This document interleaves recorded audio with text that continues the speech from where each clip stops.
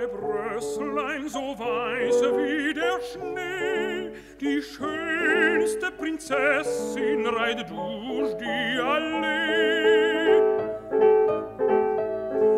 Der Wege, denn das Rösslein hintanzet so hold, der Sand, den ich streute, er blinket wie Gold. tausend farbs Hütlein wohl auf und wohl ab.